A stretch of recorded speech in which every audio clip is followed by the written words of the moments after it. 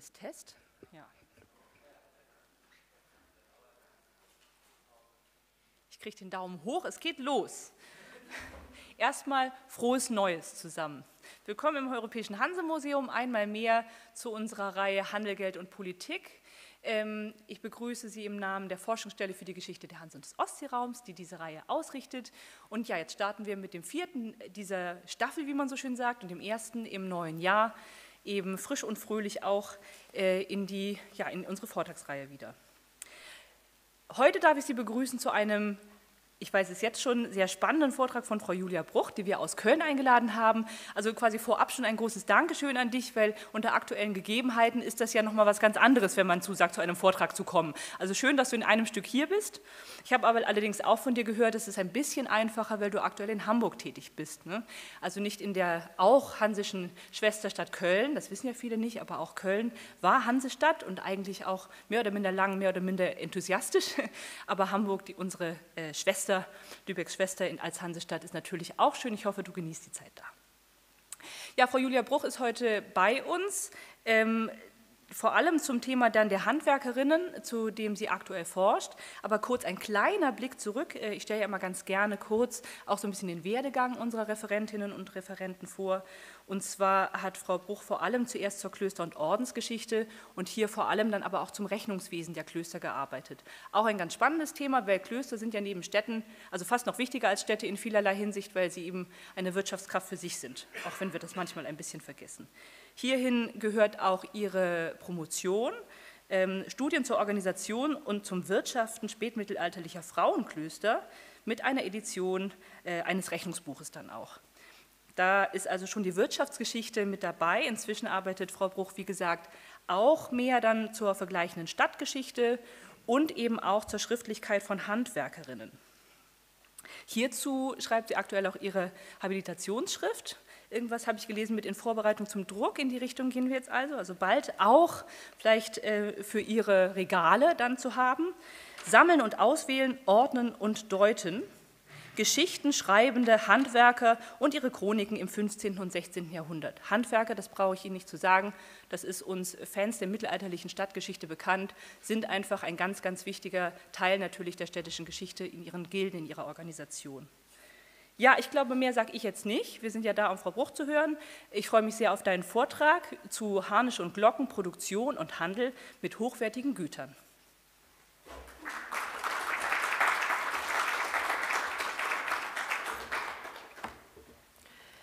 Danke für die äh, nette Einführung und für die Möglichkeit, hier sprechen zu dürfen über ähm, im Moment mein Lieblingsthema in den Reihen der Themen, die ich äh, bespiele, und zwar zur, ähm, naja, zur Produktion von Gütern, die nicht alltäglich sind. Um ein Handwerk erfolgreich zu beherrschen, sind nicht nur Talent und entsprechende Fähigkeiten erforderlich, sondern auch eine solide Ausbildung. Das für die Ausübung des Handwerks erforderliche Wissen wird in der Regel in den Werkstätten vermittelt. So ist es auch noch heute. Lehrlinge lernen von Meistern und Gesellen, die das Handwerk bereits beherrschten. Die Lehrlinge lernen das Handwerk, indem sie ihren Meister und die Gesellen in der Werkstatt imitieren und der Meister und die Gesellen gleichzeitig korrigierend einwirken. Das auf diese Weise vermittelte Wissen ist meist verkörpertes und manchmal implizites Wissen, das nur schwer oder gar nicht aufgeschrieben werden kann. Handwerker sind gezwungen, dieses implizite und verkörperte Wissen je nach Schwierigkeitsgrad durch unzählige Wiederholungen der konkreten Tätigkeit zu erlernen, angeleitet und gegebenenfalls korrigiert von einem Meister seines Gewerbes direkt in der Werkstatt. Den unterschiedlichen Anforderungen an die Handwerker wurde durch unterschiedlich lange Ausbildungszeiten Rechnung getragen. Schriftlichkeit findet in der Vermittlung handwerklichen Wissens offenkundig keinen Platz. Und das ist für Historiker und Historikerinnen des Mittelalters ein Problem, weil wir ja, nicht durch schriftliche Quellen in die Werkstätten schauen können. Aktuelle Forschungen zeigen allerdings, dass Handwerker und auch Handwerkerinnen im deutschsprachigen Raum im 15. und 16. Jahrhundert sehr wohl in der Lage gewesen wären, ihr Wissen um die Herstellung von Produkten und Dienstleistungen schriftlich niederzulegen. Handwerker durchliefen in der Regel die städtischen Schulen, lernten Lesen und Schreiben in der Volkssprache sowie Rechnen. Die Fähigkeiten, die Handwerker benötigten, benötigt hätten, um ihr Können und Wissen niederzuschreiben, war gegeben. Warum schrieben Handwerker nicht darüber? Die erste Antwort ist simpel, es war nicht nötig. Das Wissen wurde über den Meister an den Schüler weitergegeben. Es handelt sich um praktisches Wissen, das in Schriftlichkeit ausgeführt keine Vorteile brachte. Dieser Narration stehen allerdings eine, ähm, also zahlreich überlieferte Rezeptbücher, Werkmeisterbücher, Büchsenmeisterbücher gegenüber, die seit dem hohen Mittelalter, besonders aber seit dem 15. und 16. Jahrhundert überliefert sind. Erhalten sind vor allem Handbücher für das Baugewerbe, für Feuerwerk, Kriegsmaschinen, für Malerei und auch für Barbiere. In diesen Büchern wird handwerkliches Wissen vermittelt. In diesen Handbüchern wurde Wissen über personell und über weite Entfernungen zur Verfügung gestellt. Diese Handbücher wurden früh, spätestens im 16. Jahrhundert, gedruckt und so nochmal einer größeren Zahl von Menschen zugänglich gemacht. Diese gedruckten Rezept- und Musterbücher sind nun auch über das eigene Handwerk hinaus zugänglich. Es stellt sich die Frage, warum diese für eine kleine Gruppe wichtigen Handbücher, die spezifisches Wissen vermitteln sollten, überhaupt geschrieben oder gar gedruckt wurden. Und umgekehrt, spielte das dort vermittelte Wissen überhaupt eine Rolle für die Wissensvermittlung innerhalb des Handwerks und die Anwendung und Weiterentwicklung der dort beschriebenen Technologien. Die Erforschung des Wissenstransfers im Handwerk und seiner Bedeutung für den Markt und die Weiterentwicklung von Technik und Innovation ist für den deutschsprachigen Raum bisher vernachlässigt worden. Und hier setzt meine Forschung an. Die behandelten Fragen sind im Kontext der historischen Wissensverbreitung zu sehen. Es geht um die Bedeutung von Innovation, die Diffusion neuer Technologien und deren Einfluss auf die Marktentwicklung. Die Frage, der in diesem Vortrag nachgegangen werden soll, ist, warum Handwerker dazu übergingen, spezifisches technisches Wissen in Handschriften weiterzugeben. Das System braucht es nicht. In Innovation befind, findet im direkten Austausch statt. Warum braucht es diese Schriften? hilft die Verwendung des Konzepts Innovation, die Praktiken dieser Schriften zu verstehen. Hierfür stelle ich folgende Fragen. Welches Wissen wurde wem über schriftliche Quellen vermittelt? Wer schrieb die Bücher und für wen? Zusammenfassend, wurde dieser Wissenstransfer für den überpersonellen Austausch, die Weiterentwicklung des eigenen Handwerks und die Förderung von Innovationen genutzt? Mein Vortrag, damit es ein bisschen konkreter wird, beruht auf zwei Fallstudien, die sich auf Quellen aus dem 16. Jahrhundert beziehen. Bevor ich zu den Fallstudien komme, möchte ich kurz die Quellengattung präsentieren und einordnen. Dabei handelt es sich um eine Quellenart, die ähm, eine kurze Einführung verdient, weil sie nicht so bekannt ist wie jetzt beispielsweise Urkunden oder Stadtrechte. In meine Analyse fließen sowohl historische als auch materialwissenschaftliche Untersuchungen mit ein. So untersuche ich die Kodizes, die Texte und die Abbildungen. Die Quellen wurden bisher für wirtschaftshistorische und handwerksgeschichtliche Fragestellungen eher vernachlässigt, weswegen hier erste Ergebnisse präsentiert werden, die hoffentlich weitere Forschung nach sich ziehen. Interessante Ergebnisse liefern allerdings bereits Studien aus dem Bereich der Kunst- und Architekturgeschichte, der Kostümgeschichte, der Militär- und Technikgeschichte sowie der Medizin- und Wissensgeschichte. Die Schriften, die Wissen von Handwerkern vermitteln, werden in verschiedene Quellengattungen unterteilt, deren Zuordnungskriterien sich allerdings überlappen. Meist werden die Quellen in Muster, Skizzen und Baumeisterbücher, Rezept- und Arzneibücher sowie Büchsenmeister- und Feuerwerksbücher unterteilt. So kann der um 1100 bis 1125 entstandene Text De Diversis Artibus von Theophilus Presbyter, der verschiedene Techniken des mittelalterlichen Handwerks beschreibt, als ein sehr frühes Beispiel genannt werden. In diesem Text wird die Goldschmiedekunst, Buch- und Wandmalerei, Glastechnik und der Glockenguss beschrieben. Seit dem Hochmittelalter sind erst vereinzelt, dann verstärkt Schriften bekannt, die handwerkliches Wissen vermitteln. Das Wissen in diesen Schriften wird in textlicher und bildlicher Form vermittelt. In der Forschung wurden diese Handschriften mit handwerklich-technischem Inhalt als Handwerksbücher, etwa Skizzenbücher wandernder Handwerker oder Musterbücher für Bewerbungen interpretiert. Ein weiteres Beispiel für eine Schrift mit primär handwerklichem Wissen ist das um 1220, 1230 angefertigte Muster- oder Skizzenbuch von Villard de Ornicourt. Die Skizzenbücher von Werk- und Baumeistern enthalten Informationen zu Grundrissen, Gewölben, Strebesystemen, aber auch zu Baukränen und mechanischen Sägen, wie jetzt im ähm, Beispiel hier gezeigt. Hinzu kommen seit dem Beginn des 15. Jahrhunderts Schriften mit kriegshandwerklichen und taktischen Fokus.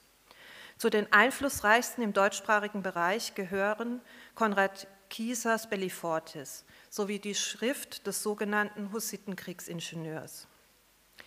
Die handwerkstechnischen Schriften des Spätmittelalters, zu denen diese kriegshandwerklichen Schriften gezählt werden können, bieten in der Regel eine Mischung aus ganz unterschiedlichen handwerklichen Wissensbereichen. Die Schriften setzen in Italien früher ein als im deutschsprachigen Bereich. Die bekanntesten können Sie auf der Folie lesen.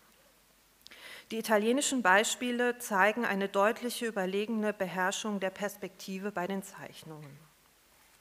Ich komme zu meinem ersten Fallbeispiel. Das sogenannte Stuttgarter Hanisch-Musterbuch ist Teil einer Sammelhandschrift, die heute in der Württembergischen Landesbibliothek Stuttgart liegt. Darin enthalten ist das sogenannte Hanisch-Musterbuch und eine Teilabschrift des Dialogus des Augsburger Büchsenmeisters Samuel Zimmermann, einem bekannten und handschriftlich weit verbreiteten literarischen Lehrgespräch zwischen einem Büchsenmeister und einem Feuerwerker. Die Zusammenstellung erfolgte nachträglich, wann ist nicht zu klären. Das Musterbuch hat eine deutlich andere Papiergröße als der Dialogus der aufgrund der Wasserzeichen auf dem Papier vorläufig auf die Zeit nach 1600 datiert wird. Wann die Sammelhandschrift zusammengebunden wurde, ist unklar. Der Einband ist nicht zeitgenössisch. Ich konzentriere mich in meiner Analyse auf das Harnisch-Musterbuch als ein Fallbeispiel für Texte, die handwerkliches Wissen transportieren. Kriegshandwerkliches Wissen wird in der Handschrift durch 85 Zeichnungen und die Zeichnungen ergänzende Texte vermittelt. Geschrieben wurde das Manuskript vom Ätzmaler Jörg T. Sorg. Der Schreiber bzw. Zeichner nennt sich nicht selbst. Die Zuordnung des Musterbuchs zu einem Ätzmaler ergibt sich jedoch aus den Beschriftungen der Abbildungen. Zum Beispiel, Zitat, Item diesen Kyros habe ich dem Matthäus Frauenpreis geätzt, gehört dem Don Caspar de Quinarch 1549. Die Zuordnung zum Ätzmaler Jörg Tesorg hatte Wendelin Böheim 1891 bereits vorgeschlagen. Die im Kodex gezeichneten Harnische sind zum Teil als Objekte überliefert und einige tragen nicht nur die Signatur des in der Handschrift zugeordneten Plattners, sondern auch die Signatur des Ätzmalers Jörg Tesorg. Außerdem ist das Familienwappen der Sorgs im Kodex mehrfach abgebildet. Sie sehen das Wappen auf der Folie.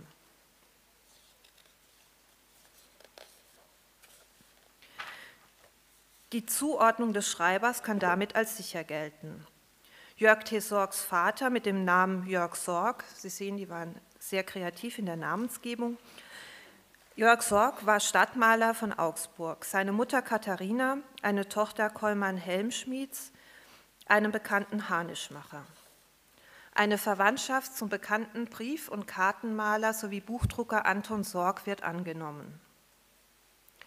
Jörg T. Sorg erlangte 1548 in Augsburg die Malergerechtigkeit, also das Recht, das Handwerk des Malers auszuüben, durch die Zunft verliehen. Auf dieses Jahr sind die frühesten Harnisch-Zeichnungen datiert. Die Zeichnungen sind mit Jahreszahlen von 1548 bis 1563 versehen worden. Die Handschrift ist in den frühen 1560er Jahren angefertigt worden. Ortwin Gamba, der eine Edition des Harnisch-Musterbuchs angefertigt hat, weist auf eine Datierungsmöglichkeit hin, die ich Ihnen auch nicht enthalten möchte. Die ergibt sich aus folgendem Eintrag. Zitat, Item diesen Kyrus habe ich dem Wolf Neumeier geätzt, gehört dem Herrn Fratislav von Pernstein auf Padowitz, römische kaiserliche Majestät, Rat und Kämmerer 1556. Fratislav von Pernstein war geheimer Rat König Maximilians II., der 1562 zum römisch-deutschen König gewählt worden war und 1564 zum Kaiser gekrönt. Der Eintrag über ähm, Fratislav von Pernstein muss folglich zwischen 1562 und 64 nach der Königskrönung und vor der Kaiserkrönung erfolgt sein. Die Abbildung, die der Beschriftung voranging, ist demnach nach 1556 und vor 1564 gezeichnet worden. Unbekannt ist der direkte Adressat, die direkte Adressatin der Handschrift.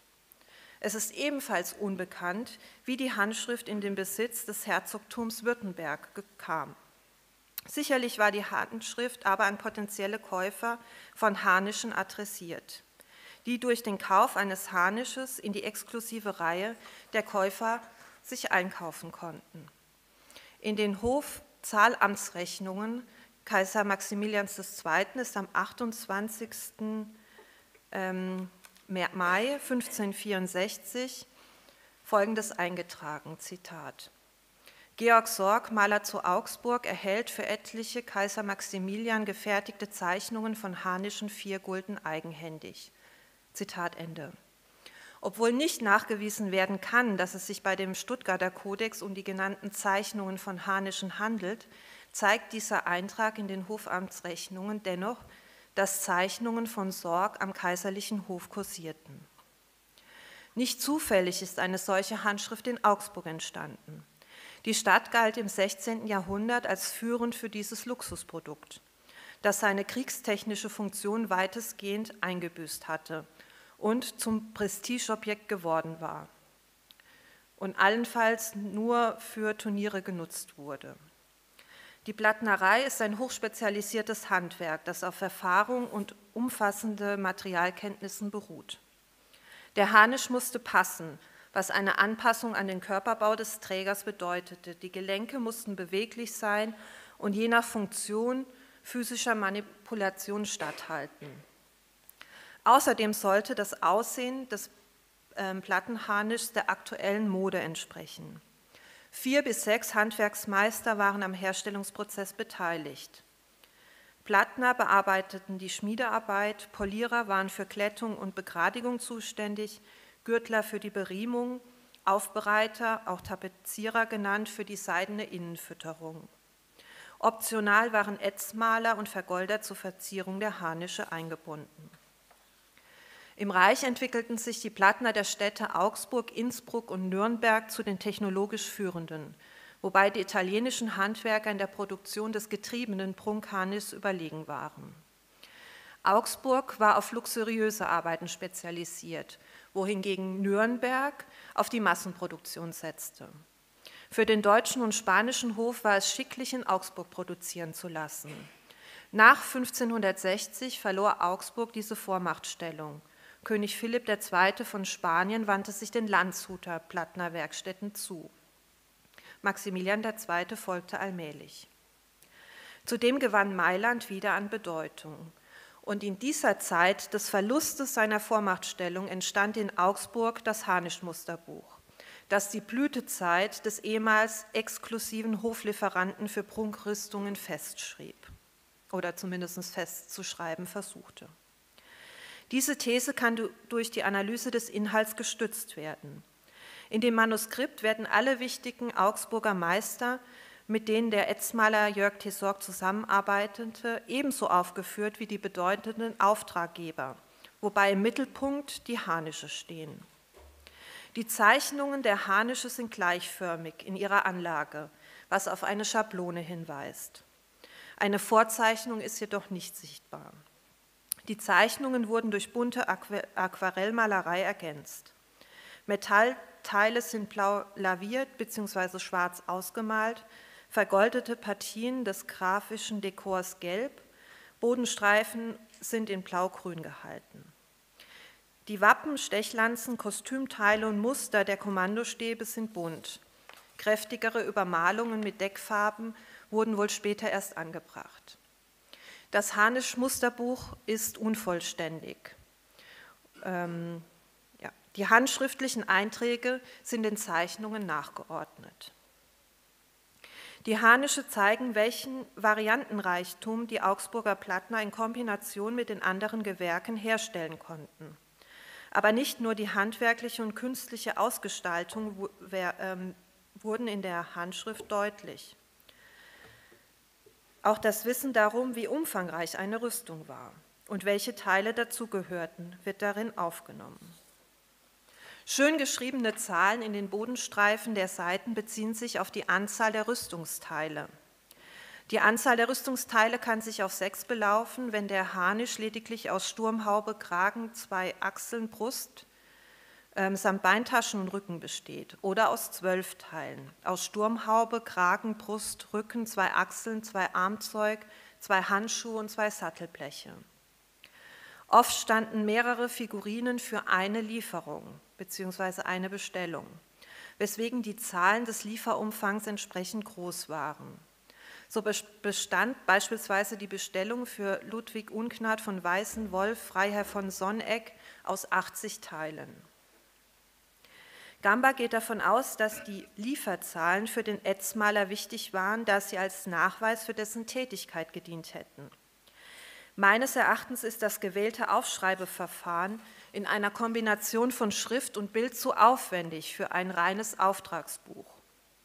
Das dort vermittelte Wissen bezieht sich nicht alleine auf die dem Etzmaler Bezahlung schuldigen Auftraggeber. Wäre es wirklich eine Art Auftragbuch, Auftragsbuch, würden darin auch die Kosten für die Arbeit stehen. Diese fehlen allerdings. Darüber hinaus werden die Plattner, mit denen Jörg Tessorg arbeitete, genannt. Dabei handelt es sich durchweg um Augsburger Handwerksmeister, deren Ruhm weit über die Stadtgrenzen bekannt waren und deren Arbeiten teilweise bis heute noch überliefert sind. Darunter sind Namen wie ähm, Matthäus Frauenpreis, Desiderius Helmschmidt, Hans Lutzenberger, Wolf Neumeier, Wolf Neumeier der Jüngere, Anton Pfeffenhauser, Konrad Richter, Wilhelm Seusenhofer der Jüngere und Pankraz Weiß. Unter den Auftraggebern ist Maximilian II., da ist Gamba beizupflichten, als Schlüsselfigur zu sehen. Er selbst ist zwar nur einmal als Auftraggeber aufgelistet, aber sein engster Kreis erscheint ebenfalls dort. Ebenso sind die spanischen und die italienischen Auftraggeber, die durch seine Ehefrau mit ihm verbunden waren, äh, waren mit seiner, durch seine Ehefrau mit ihm verbunden und sie gehörten oder sie gehörten zu ihrem oder Philipps II. Hofstaat. Auftraggeber aus dem europäischen Adel sind ebenso zu finden wie Bürgerliche aus Augsburg, letztere mit anderer Helmform. Die Auftraggeber werden in den Beischriften erwähnt und ihre Wappen werden prominent an die Seite der jeweiligen Figurine gestellt. In diesem Kodex wird auf mehreren Ebenen Wissen transportiert. Zum einen wird das Können vermittelt, mit dem Augsburger Harnischmacher in Kombination mit dem Etzer aufzuwarten hatten. Und zugleich zeigt der Augsburger Etzmaler Jörg Tessorg, der Schreiber und Maler des Manuskripts, was er kann. Die bebilderte Handschrift bietet die Möglichkeit für jeden, der Zugang hatte, einen Überblick darüber, was die Augsburger Harnischmacher produzieren konnten, welche Formen und Ausstattungen möglich und aktuell waren und wer sich für welche Form und für welches Dekor entschieden hatte. In der Handschrift werden also nicht nur Wissen über das Produkt und das Können der Handwerker vermittelt, sondern auch welcher Handwerker welche Produkte herstellen konnte, mit wem der Etzmaler zusammenarbeitete. Darüber hinaus wird deutlich, für wen Harnische angefertigt wurden und für wen eine besondere Harnischform und Verzierung geschaffen wurde. Somit nach welchem Vorbild der eigene Harnisch angefertigt werden konnte, in wessen Schatten man sich selbst stellen konnte mit dem Erwerb des Harnisch. So zeigt sich, dass nicht nur die Produkte ähm, veranschaulicht wurden und in einem gewissen Sinne beworben wurden, sondern auch soziales Wissen transportiert wurde. Kommuniziert wurde die Einbindung in eine soziale Gruppe, in die der potenzielle Käufer sich durch den Kauf des Harnisch im neuesten Muster ebenfalls einreihen konnte. Doch warum wurde dieses Wissen überhaupt festgehalten? Sind darin nur soziale Informationen zu sehen oder lassen sich dahinter wirtschaftliche Interessen vermuten? Das Harnisch-Musterbuch kann als eine Art Bestellkatalog der Werbung für die Augsburger Harnischmacher und den Etzmaler machten, gelesen werden. Der Zeitpunkt, zu dem das Manuskript entstanden, äh, entstanden ist, ist interessant und gibt Auskunft über die Causa Scribendi. Hier schrieb und zeichnete ein Vertreter ehemalig, des ehemaligen Marktführers eines Luxusprodukts. Das mit dem Manuskript vermittelte Wissen sollte weitere Auftraggeber werben und gegen Augsburgs Bedeutungsverlust angehen. Ich komme zu meinem zweiten Fallbeispiel. Das Manuskript des Glockengießers Sess, Christoph Sesselschreiber, das unter dem Titel von Glocken- und Stuckgießerei, Büchsenmeisterei, Pulververbreitung, Feuerwerk, Heb- und Brechzeug, Wasser- und Brunnenwerke ein ganz kurzer Titel sozusagen, in der Bayerischen Staatsbibliothek in München liegt. Am Beispiel des Glockenguss, der ein hochkomplexes Handwerk darstellt, soll kurz das Problem rein mündlich vermittelten Wissens dargelegt werden. Im 15. und 16. Jahrhundert entwickelten sich einige Städte zu Zentren des Glockenguss, darunter Salzburg. Die Salzburger Glockengießer waren zum Teil so renommiert, dass sie überregionale Aufträge bekamen. Zu nennen ist beispielsweise Jörg Lopitscher, ein Zinngießer in Salzburg. Er goss unter anderem die große Glocke für Wasserburg am Inn, die sogenannte Salzburgerin mit 4500.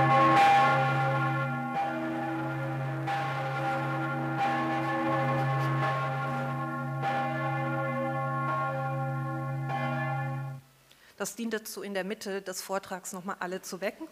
Also diese Glocke kann heute noch gehört werden und gesehen werden und sie wiegt 4500 Kilogramm. Hier zeigt sich das Problem der Wissensweitergabe exemplarisch. Jörg Lopitscher hatte keinen direkten Nachfolger. Seine Gießerei wurde mehrfach verkauft und keiner der späteren Inhaber kam an das frühere Niveau heran. Offenbar wurden Klopitschers Gipsmodell separat verkauft. Die Glocken aus der Gießerei seiner Nachfolger, insbesondere von Josef Erhard, einem Zinngießer, waren weniger aufwendig verziert. Sie zeigen weniger Varianz in den Inschriften, die jedoch an äh, denjenigen Klopitschers angelegt waren. Auch die Konstruktion der Glockenrippen reichte nicht an diejenigen seines Vorgängers heran, was die musikalische Qualität beeinträchtigte. Außerdem sind gusstechnische Mängel bei seinen Glocken häufig zu finden, etwa raue Oberflächen und äh, viele Gaseinschlüsse. Man kann also sicher behaupten, dass Josef Erhard technisch und künstlerisch nicht auf der Höhe seiner Zeit war, so folgert Josef Karl. Doch zurück zu Sesselschreiber. Christoph Sesselschreiber war der Sohn des Münchner Malers Gilg, die Kurzform für Egidius Sesselschreiber der seit 1502 Hofmaler am Hof Maximilians I. war. Gilg Sesselschreiber wurde 1508 beauftragt, die Gussarbeiten zum Grabmal Maximilians in Innsbruck zu leiten. Gilg bekam die Leitung über die landesfürstliche Gusshütte in Mühlau bei Innsbruck, Mittel und Personal, darunter den Geschütz- und Glockengießer Peter Löffler. Die Expertise des Gießers war für Gilg sicherlich äußerst wichtig. Gilg war Maler und hatte keinerlei Erfahrung mit dem Guss. Unter seiner Leitung erarbeitete, äh, arbeiteten äh, ein weiterer Maler, zwei Schnitzer, zwei Gießer, ein Ausbreiter und ein Schmied. Zugleich wurde der Nürnberger Rotschmied Stefan Goddel beauftragt, die kleineren Heiligenfiguren herzustellen. Das Grabmal umfasst heute 28 von ursprünglich 40 geplanten übergroßen Gussfiguren. Beim figürlichen Guss war in Gilg Sesselschreibers Zeit noch Pionierarbeit zu leisten und das erklärt so ein bisschen, warum jetzt ein Maler damit beauftragt wurde. Interessant ist, dass Gilg wohl mit Billigung des Kaisers die Arbeiten nicht nach Augsburg vergab, wo die Expertise im figürlichen Guss lag, sondern in der landesfürstlichen Gusshütte behielt.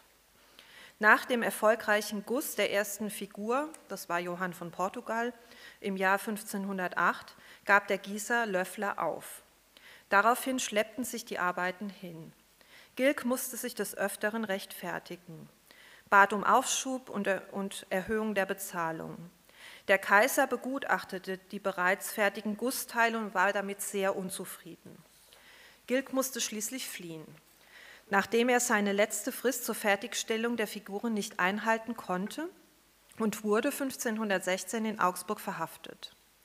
Gilks Sohn Christoph Sesselschreiber und sein Schwiegersohn Sebastian Häuser, die ebenfalls in der Gusshütte gearbeitet hatten, versprachen die Fertigstellung der nach ausstehenden Teile in kürzerer Frist. Auch Gilg erhielt noch einmal einen Aufschub. Die Versprechen konnten allerdings nicht eingehalten werden. Alle drei wurden 1518 entlassen. Stefan Godel übernahm die Leitung der Gusswerkstatt. Gilg starb nach 1520. Es ist anzunehmen, dass Gilg Sesselschreiber Zeichnungen, die als Grundlage für die Gussfiguren dienten, angefertigt hat, ähnlich den auf der Folie abgebildeten Zeichnungen des Malers Jörg Kölderer.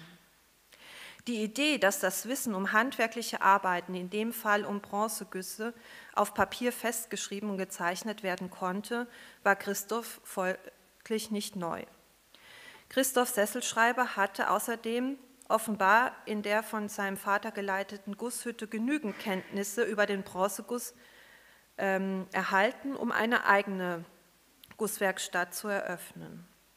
So goss er 1519 die Glocke, Bierglocke genannt, des Salzburger Rathauses und 1521 die Glocke für Arnsdorf, ebenfalls in Salzburg. Die hat die Inschrift mit Maria Hilf ward ich geflossen, Christoph Sesselschreiber zu Salzburg hat mich gegossen. Anno Domini 1521.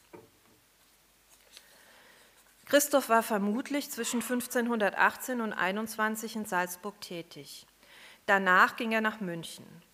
Es ist nicht klar, ob er ein festes Dienstverhältnis mit dem ähm, Herzog von Bayern hatte. Die Hofrechnungen sind nur sporadisch überliefert und die Steuerbücher führen 1525 und 26 einen Maler mit dem Namen Christoph, aber ohne Nachnamen. Es Reisen nach Bayern, Österreich, Salzburg und Innsbruck sind belegt. Es ist jedoch unklar, ob Sesselschreiber einen festen Ort hatte, an dem er die Auftragsarbeiten ausführte oder ob er als reisender Büchsenmacher einzuschätzen ist. 1524 verfasste Christoph das hier untersuchte Buch, das im Besitz Herzog Wilhelms IV. war, was eine handschriftliche Notiz seines Bruders Herzog Ludwig X. Äh, belegt. Auf dem Rückendeckel des Kodex war zu lesen, Zitat, Bruder Herzog Wilhelm wieder zuzustellen, Aktum, den 14. Tag Jänner anno 1542, Zitat Ende. Die Zuordnung des Manuskripts zu Sesselschreiber ist recht simpel.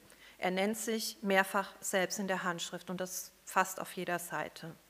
Sie sehen ähm, Beispiele auf der Folie. Das Manuskript besteht aus 158 Blättern in Quadformat. Eingebunden sind die Blätter in ein Kopert-Einband mit Binderiemchen. Das ist schwarz-weiß, weil heute leider die Binderiemchen nicht mehr äh, vorhanden sind im Archiv.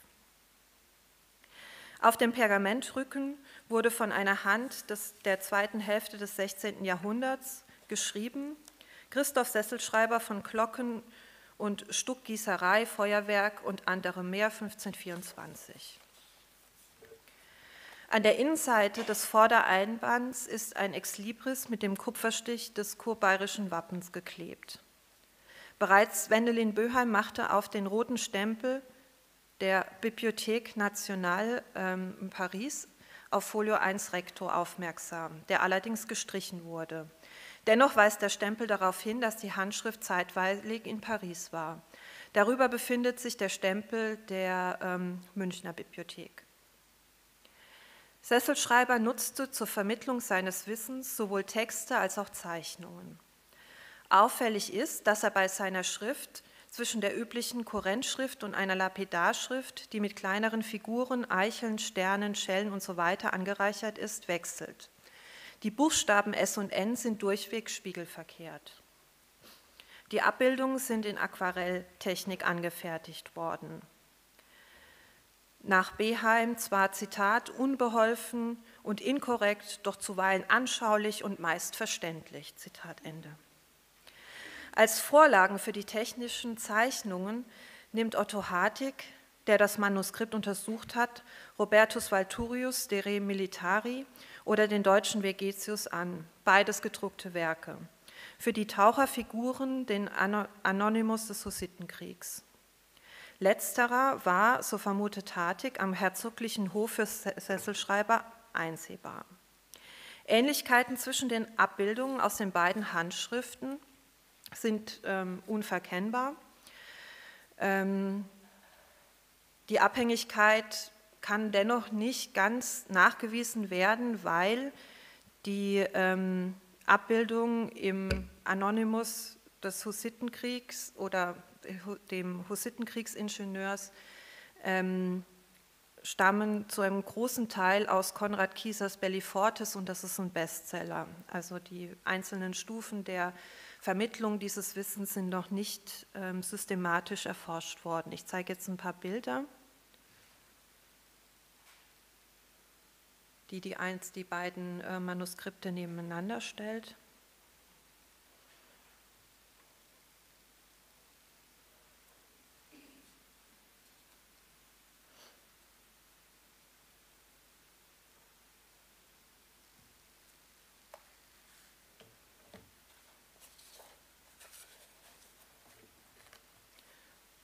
Und hier ist einmal ähm, der Bellifortis nebendran gelegt.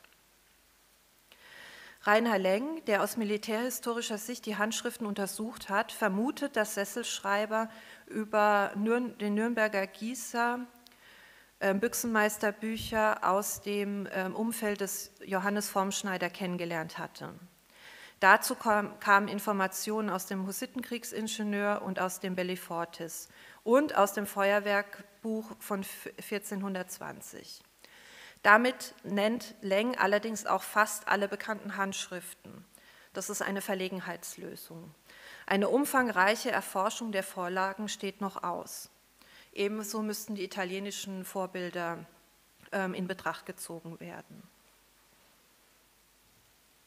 Das Buch an sich kann in mehrere Teile unterteilt werden wie bereits der in der Bibliothek erhaltene Titel deutlich zeigt.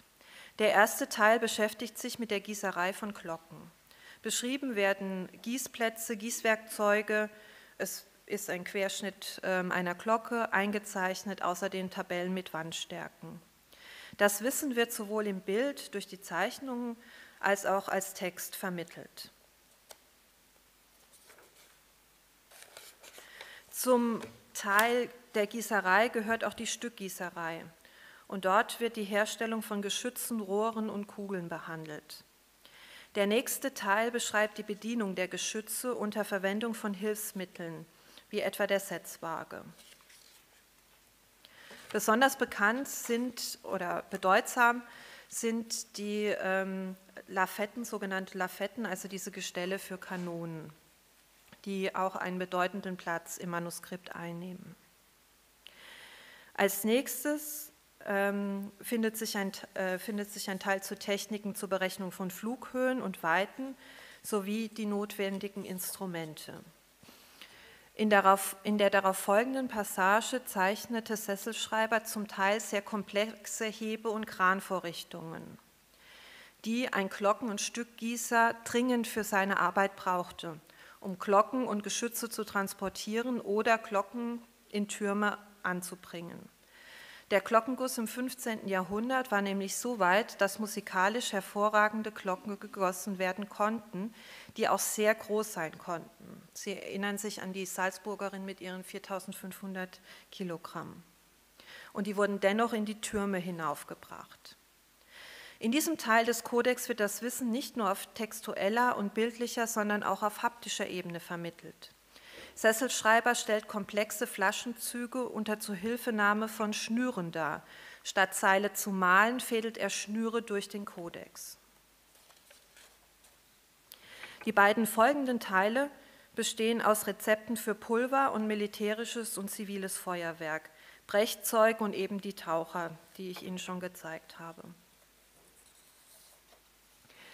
Unabhängig ist der letzte Teil der Handschrift, der Wissen über den Bau von Wasserbereitern und Badestuben, Wasserwerke für Brunnen sowie gegossene Schmuckbrunnen enthält.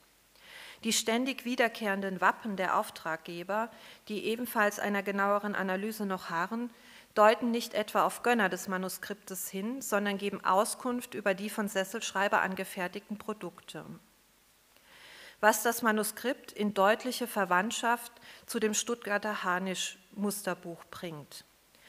Diese Teile seien nach Leng als Memorialbuch zu lesen, über die von ihm gegossenen Stücke, Glocken und Brunnen aus der Tradition der älteren Musterbücher.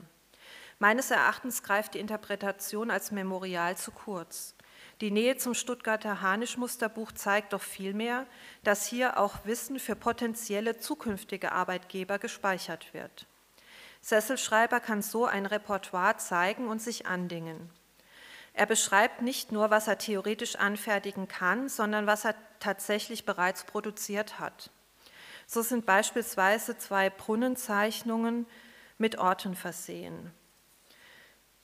Bei der Zeichnung zu einem Brunnen mit Lorelei steht geschrieben, steht auf der Matzen und ein Brunnen mit Freisinger Wappen ähm, ist mit der Beischrift versehen, steht in Freising. Das Buch ist insbesondere für den Brunnen- und Glockenguss interessant. Vorsesselschreiber schrieb das letzte Mal Theophilus, Theophilus Presbyter darüber und das im 12. Jahrhundert. Besonders die detaillierten Berechnungen zur Glockenrippe und das neue Schablonierverfahren mit senkrechter Achse sind hervorzuheben. Durch dieses neue Hebeverfahren können die tonnenschwere Produkte einfacher in die Gussgrube gehievt werden. Das Verfahren findet bis heute Verwendung. Die Fallbeispiele, die durch viele weitere ergänzt werden könnten, zeigen, dass Handwerker Meister ihres Fachs Wissen in Manuskripten vermittelten. Sie vermittelten das, das Wissen schriftlich, bildlich und teilweise haptisch. Sie adressieren das Wissen unter anderem an die Handwerker des eigenen Handwerks, die die Schriften zum Teil rezipierten und in eigenen Schriften kompilierten. Vermittelt werden aktuelle Moden und Innovationen. Das Know-how, wie die Produkte herzustellen seien, vermitteln die Schriften jedoch nicht. Die Vermittlung dieses Wissens verbleibt in der Werkstatt. Das Wissen wird zwar schriftlich vermittelt, aber für die handwerkliche Ausbildung ändert sich im Prinzip nichts. Diese bleibt praktisch und mündlich bis heute. Die Konstruktionszeichnungen und Rezeptsammlungen zeigen zwar das Mögliche und Denkbare, aber sie vermitteln nicht das Wissen darum, wie die Produkte hergestellt werden konnten. So lässt sich auch vermeintlich fehlendes Wissen erklären, das Reinhold Reit als Lehrstellen bezeichnet, das mit eigenem in den Werkstätten erlangtem Wissen gefüllt werden muss. Ein Plattner erkennt aber aus dem Stuttgarter Harnisch-Musterbuch sehr wohl, wie viele Teile ein Harnisch hat und welche Teile im Moment für welche Rüstung genutzt wurde und wie die Rüstung geschnitten sind. Der Erzmaler erkennt die Muster, die in Mode sind. Ein Glockengießer kann die Maße lesen und damit etwas anfangen und die Balkenkonstruktion für das eigene Hebezeug nachbauen. Zur besseren besseren Anschauung sind die Schnüre für die Flaschenzüge beispielhaft ins Manuskript eingeflochten. Ein Ungelernter kann damit nichts anfangen. Heute sind Konstruktionszeichnungen zwar normiert und viel komplexer, aber auch hier gilt, der Laie kann damit nichts anfangen. Zugleich kann ein potenzieller Auftraggeber auf die Produkte aufmerksam gemacht werden. Es handelt sich hierbei nicht um Auslageware, die erst angefertigt und dann verkauft wurde. Es handelt sich sicherlich nicht zufällig bei all diesen Produkten um teure Auftragsware. Der Ätzmaler gibt zusätzlich noch Arbeitsproben ab, indem er seine Muster in die Zeichnungen einfügt. Die Wappen und Namen in den Manuskripten verweisen darauf, dass einzelne Produkte bereits angefertigt und erprobt worden sind. Der Auftraggeber kann sich durch den Kauf zudem in eine Reihe von prestigeträchtigen früheren Kunden stellen. So funktioniert Werbung noch heute. Man denke an die britischen Hoflieferanten. Das Wissen, das vermittelt wurde, ist vielschichtig. Zum handwerklichen Wissen kommt soziales und kulturelles Wissen, das Handwerker über Manuskripte konservierten. Aber es handelt sich dabei nicht um das alltägliche Können, das nicht über Bücher vermittelt werden kann. Herzlichen Dank.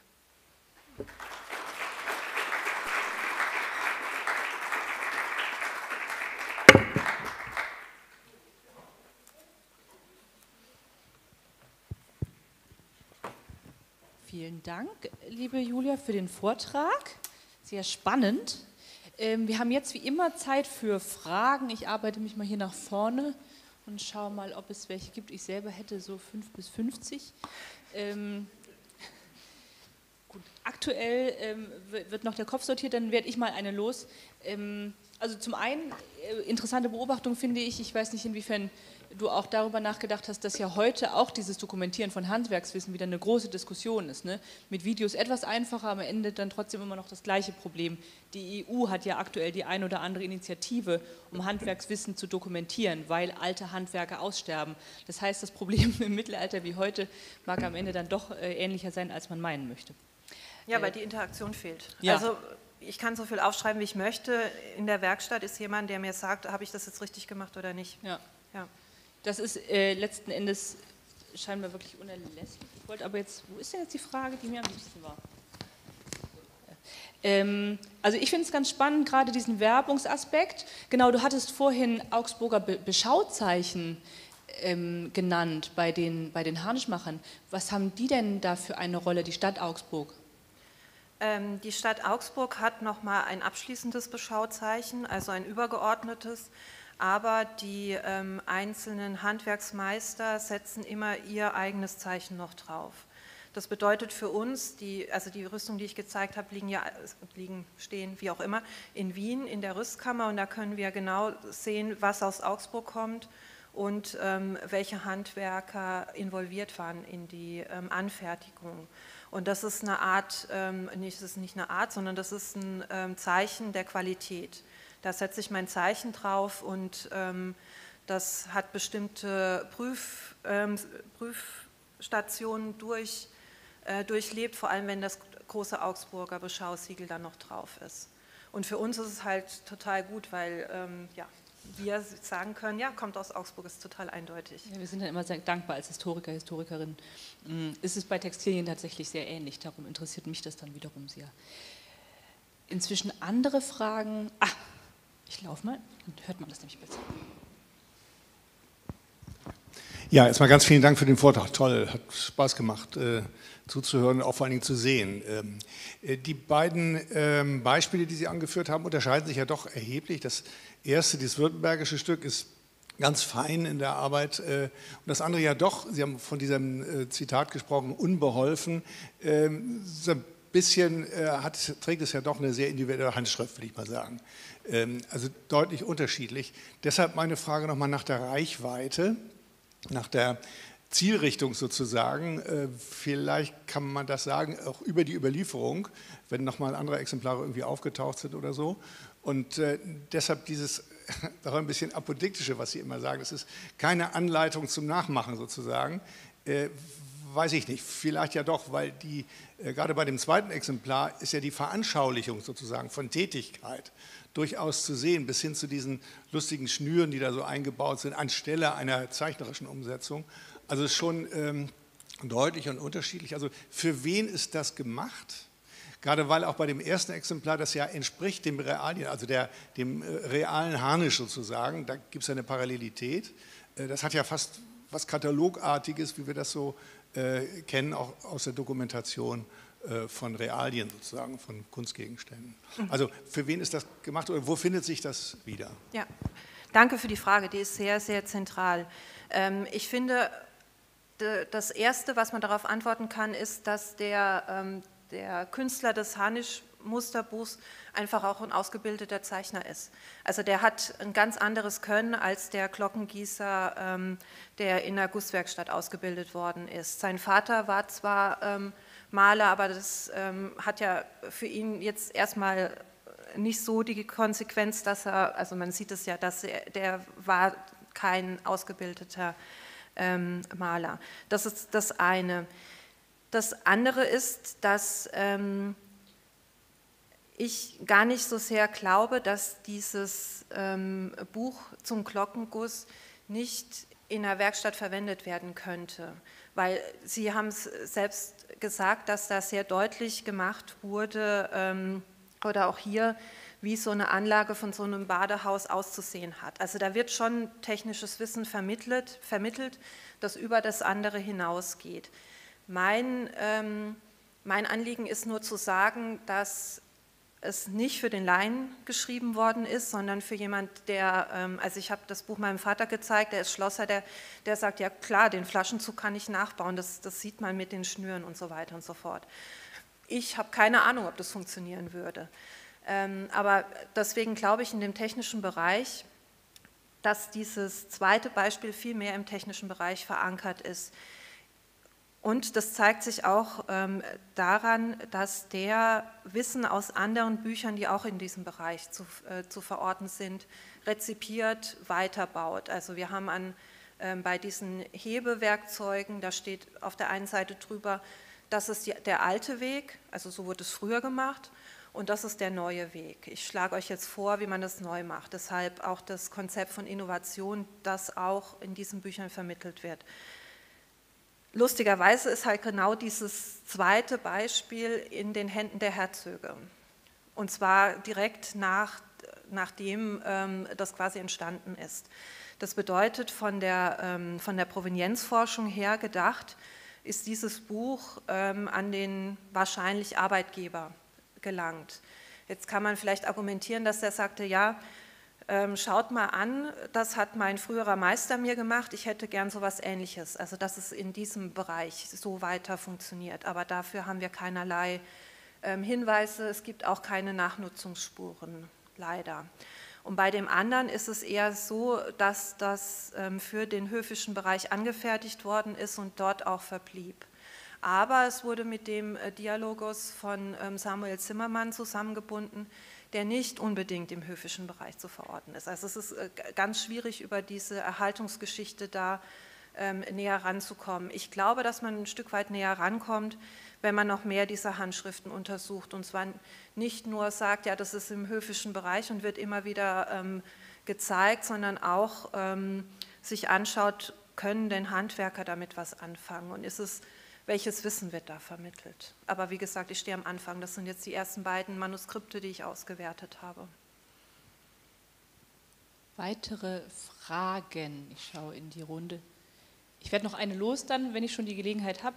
Ähm, zwischendurch sprang so in meinen Kopf heute Innovation, Patentrecht, ne, dass man ja auch gewisse äh, Dinge schützt. Ich finde das ganz spannend, dieses Zusammenschreiben aus verschiedenen Büchern und diese scheinbare Sorglosigkeit um dann Weitergabe von Innovationen, was ja eben heute im Gegensatz dazu geschützt wird. Gibt es denn da eine Diskussion drum? Also ist die dir bekannt? Ähm, und das, ich möchte noch eins oben draufsetzen, das ist kriegstechnisches Wissen. Also jetzt nicht das mit den Brunnen, sondern also wie ich ein Geschütz gieße und wenn ich ein besseres Geschütz habe als mein Gegner, bin ich klar im Vorteil. Ähm, und das äh, wird diskutiert auch in der Forschung. Das Problem ist, dass sehr häufig in diesen Büchern steht, dass das geheimes Wissen darf nicht weitergegeben werden und dann kommt es in den Buchdruck. Und da steht genau das. Also und was andere, also um es weiter zu verbreiten, kann man jetzt sich auch wirklich nichts anderes vorstellen. Das bedeutet, dass irgendwie diese Weitergabe von, ähm, von Wissen innerhalb des Handwerks nicht so sehr problematisch gesehen wurde. Und ich glaube, das hängt auch damit zusammen, wir stellen uns das so vor, dass diese, ähm, naja, diese Handwerker, die sind vor Ort, der ist in München und gießt es. Wahrscheinlich ist es gar nicht so, sondern er reist von Ort zu Ort und bietet seine, ähm, seine Dienste an oder wird von jemand anderes angefragt. Und dann braucht er ähm, Handwerker, die vor Ort, vor Ort die mithelfen. Und schon dadurch wird ja Wissen weitergegeben.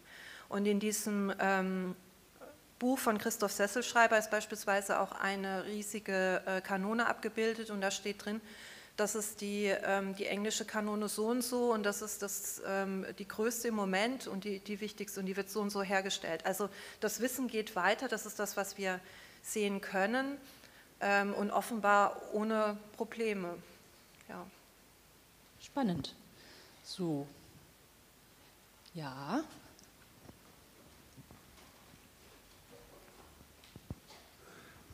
Ja, ich habe eher einen Kommentar zu dem letzten, was Sie gesagt haben. Also ich sehe hier große Parallelen zu dem, was man, zu dem, was man heutzutage White Paper nennt. Da schreibt man bewusst als Unternehmung ähm, letztendlich zum Anfixen. Aber ist, die können relativ groß sein, fast halb, äh, große Hefte. Aber letztendlich der Kunde kann alleine damit nichts anfangen. Er wird ganz einfach nur angefixt. Ja. Und ich sehe auch eine zweite Parallele aus der gleichen Zeit ungefähr. Die gibt ja viele Fechtbücher auch aus mhm. der Zeit. Ja. Die sehe ich enorme Parallelen, aber dort sind ja tatsächlich auch die Hiebe und so weiter ganz genau beschrieben. Nur ich weiß es auch. Das ist ein enormes Studium, heutzutage aus diesen Büchern irgendwas Sinnvolles rauszuholen. Ja. Also das ist, deshalb glaube ich nicht, dass das Wissen de facto weitergegeben wurde. Es wurde nur angefixt für diejenigen, die sich damit nicht auskennen. Wenn Sie aber eine Ausbildung haben als Fechtmeister, können Sie die Bücher natürlich lesen. Das ist der, der Unterschied, den, den ich versucht habe ähm, darzustellen. Ähm, und das ist bei diesen technischen Manuskripten meines Erachtens genauso. Und dann kommen halt noch diese utopischen Darstellungen von Tauchern. Also es wird jetzt ja, nicht getaucht worden sein, zumindest nicht in voller Rüstung, wie manchmal abgebildet. Ich Unten ist man gleich, aber ob man wieder hochkommt, ist die andere Frage. Aber dieses Wissen wird immer weiter und weiter da, da reingeschrieben und da zeigt sich ja auch schon so ein gewisses, das gehört dazu. Ich muss das da reinschreiben und theoretisch ist es möglich, aber praktisch kann es nicht umgesetzt werden. Und das ist ja auch eine Logik, die zum Teil heute auch in ähm, so Architekturbüros oder sowas ähm, weiterverfolgt wird. Ich habe hier einen Plan für etwas, was ich theoretisch bauen könnte. Ich habe es nur nicht gebaut, aber vielleicht möchten Sie es kaufen. So, ja. Ja, ob wirklich getaucht wurde, wäre meine Abschlussfrage gewesen. Das ist einfach zu schön, das müssen wir den Kollegen von der äh, Wasserarchäologie in Lübeck unbedingt weitergeben. So, ich schaue mich noch einmal um, sehe keine Fragen. Sie können sich natürlich auch nochmal direkt an Frau Hoch wenden wenn wir jetzt gleich den Schluss machen, und das mache ich dann jetzt auch. Also erstmal vielen Dank dir nochmal für den schönen Vortrag. Ja, danke für die Fragen.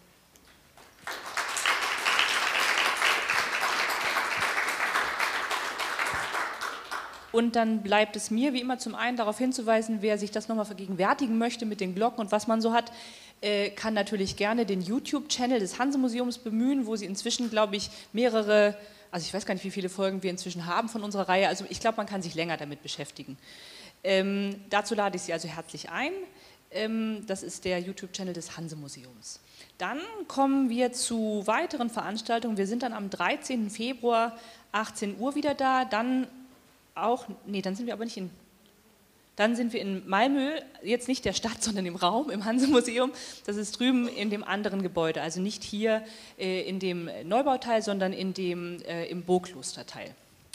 Dahin laden wir Sie dann ein. Da geht es dann mit Frau Tanja äh, Skamrax, inzwischen nicht mehr Mannheim, sondern Graz. Ja. Ähm, um das Geld des kleinen Mannes, Mikrokredite, Armenfürsorge und Sozialpolitik im späten Mittelalter. Das wird also auch wieder spannend, äh, wenn Sie es nicht hierher schaffen. Auch dieser Vortrag wird ähm, dann online übertragen, beziehungsweise ist dann auch im Nachgang abrufbar.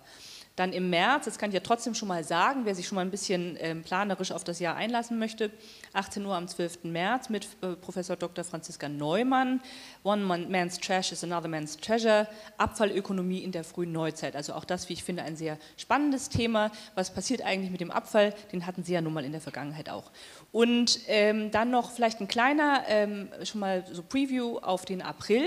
Da haben wir dann keine Vorträge mehr, erst wieder im Oktober dann, aber wir haben zusammen mit dem Archiv einen kleinen Citizen Science Tag. Das wird im Programm des Hanse-Museums auch angekündigt, wo Sie mit uns zusammen ähm, Hansequellen transkribieren können. Also äh, wer gerne mal sich daran versuchen möchte, keine Vorkenntnisse erforderlich, nur gute Laune und ein Laptop. Ähm, das mit dem Laptop könnten wir wahrscheinlich auch noch anders lösen, aber die gute Laune würde ich Sie bitten mitzubringen. Und äh, dazu lade ich Sie natürlich auch dann ganz herzlich ein. Das wird auch im Archiv selbst stattfinden. Gut, das wäre alles von mir. Ihnen einen schönen Abend und dann gehe ich einfach mal davon aus, dass wir uns am 13. Februar wiedersehen. Schönen Abend.